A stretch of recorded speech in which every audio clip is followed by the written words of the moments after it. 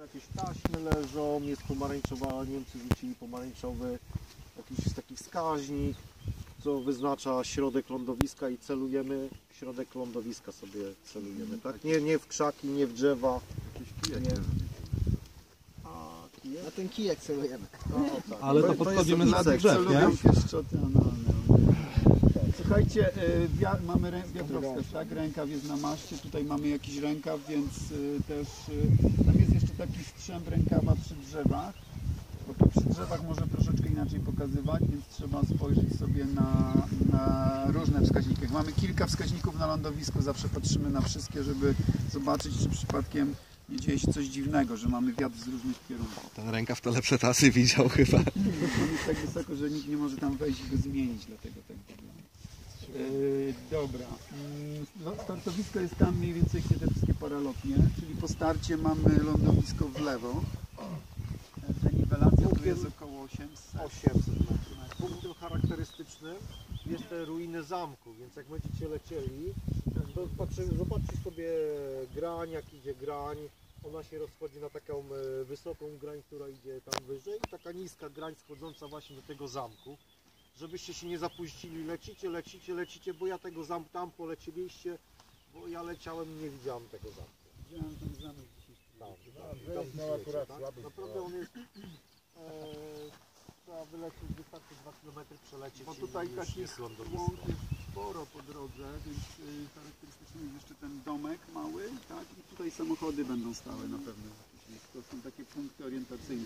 I ruiny, jak będziecie przy ruinach, to na pewno znajdziecie, bo to jest trudne. E, I teraz e, już wspomniałem, e, dwie granie mamy. Jedną wysoką grań, Której nie jest, widać. której nie widać. I ta niska grań, którą widać. E, Góra nam się rozchodzi na wysoką grań i na niską grań i pomiędzy tymi niską a wysoką granią jest siodło. Czyli w poszukiwaniu potencjalnych noszeń, żebyście nam nisko się tam nie zapędzali, bo jak ktoś wypadnie z noszenia, to się okaże, że jest niżej niż ta linia grani i tam zostajecie.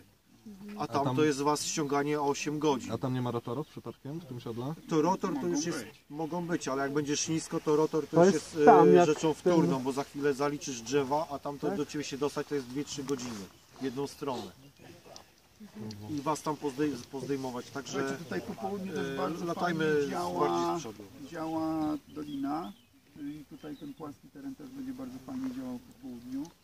Eee, Na początku tutaj mamy tak, y, po starcie możemy kawałek w prawo, tam jest taki wyższa ta łysa część góry, taka z łąkami.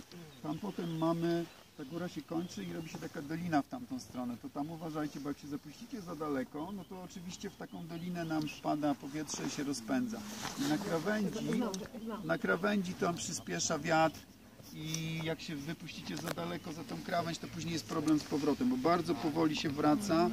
W tym czasie się traci wysokość i wychodzicie nisko i już jest na przykład niedolot do lądowiska.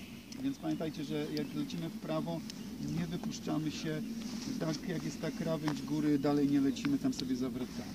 Tutaj w tą stronę można polecieć do tego miejsca, czyli tam ta wyższa część, jak mamy wysokość. Jak macie wysokość, się obniża teren i znowu jest troszkę trudniej się utrzymać. Eee, czyli staramy się między tamtym punktem, tamtym i z przodu możemy latać po dolinie, też nie jakoś tam 10 km, tylko takie parę kilometrów do przodu, bo tam dalej na południe jest ta baza amerykańska lotnicza, więc też teoretycznie mamy tutaj tak naprawdę jakieś chyba z 5 km maksymalnie do przodu.